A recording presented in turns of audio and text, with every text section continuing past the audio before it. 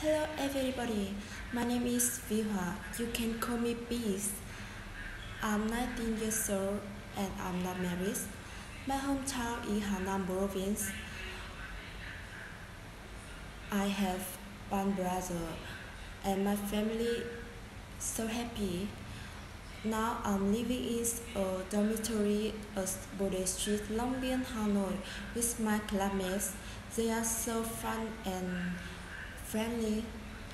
I'm a freshman in edX University. I want to learn English because it's an international language.